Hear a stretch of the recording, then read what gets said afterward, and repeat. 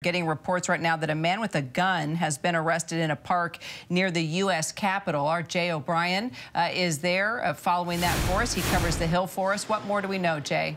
Yeah, Kira, let me walk you through exactly what we have at this hour. So it, it, all started to break about a half hour ago that Capitol Police had arrested someone in a park near Union Station, which is just in front of one of the Senate office buildings, just about a block or so away from the Capitol. And while we're learning from that tweet that you're seeing on your screen and a series of tweets from U.S. Capitol Police that a man was arrested with a gun, there was an initial call, Capitol Police say, of a suspect with a long gun or rifle in that area. It's unclear at this hour exactly what kind of firearm this individual had, but Capitol Police confirming that the suspect did have a gun. He was arrested. He is in the back of a squad car as far as we can tell, and our crews there that are on the scene covering this. Working to get you video of it now as we speak. One more other thing to know is that there was a suspicious package alert set for that park where this individual was arrested. As far as we can tell, according to tweets from Capitol Capitol Police and also from our Capitol Police sources.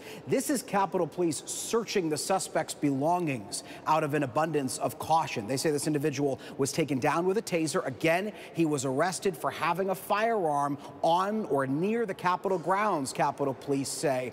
Other than that, they say there is no immediate threat, although they continue to process this suspect and they say they're going to keep the public updated with any additional developments. Kira. And clearly heavy police presence there in the area right now and access uh, to the area is still restricted. All right, Jay O'Brien, appreciate it. We'll continue to follow the story with you.